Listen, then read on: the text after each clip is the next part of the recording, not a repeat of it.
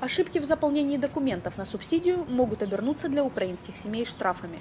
Правозащитники обеспокоены нормами, согласно которых украинцы, подавшие неполную или ошибочную информацию в декларации о доходах, должны будут вернуть сумму государственной дотации в двойном размере. По данным Министерства социальной политики Украины, на июнь 2015 года только 15-20% деклараций было заполнено верно. И дело вовсе не в желании граждан обмануть государство, а в сложности расчетов. Порядка 85% заявителей могут не получить субсидию или будут должны государству. Я особисто підтримую ідею субсидій, бо іншого шляху допомогти простій людині немає. Я не підтримую субсидію в тому вигляді, в якому вона зараз преподнесена, як пастка, як ем, грабунок.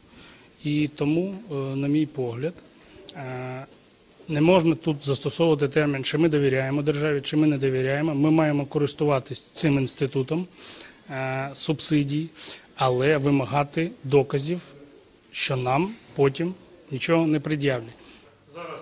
По словам главы Киевской областной коллегии адвокатов Вадима Хабибулина, субсидия может стать для украинцев сыром в мышеловке. В постановлении Кабмина номер 106 об усовершенствовании порядка предоставления жилищных субсидий нет ни единого пояснения к терминам, неполная информация и ошибочно поданная информация, которые могут истолковываться совершенно по-разному. В Кабмине говорят, ошибка техническая, но именно за эту оплошность госорганов малоимущим семьям придется платить вдвойне. Субсидии получит, как пишет пресса, только четвертая часть, 25%. 190, порядка, уже на сегодняшний день сколько тысяч, ну, 200 получила э, субсидии. Я считаю, это... Беда в том, что очень хитрые заковыки. Если вы неправильно или где-то ошибетесь, Да, взимается в двойном размере э, предоставленная субсидия. ну, извините, А что, именно это вас пугает? И это тоже. А что еще? те, ту информацию, которую нужно давать, там тоже такая расплывчатая. Вы имеете в виду декларацию? Да, Раз решил сделать что-то в пользу себя, не надо в ущерб э, государству это делать.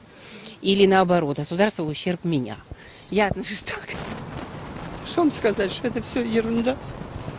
Большинство украинцев, подающих заявления, не подозревают о скрытых рисках, а те, кто знают все нюансы заполнения документов, просто не доверяют новой системе субсидирования. Депутаты Верховного Совета на этот счет имеют свое мнение.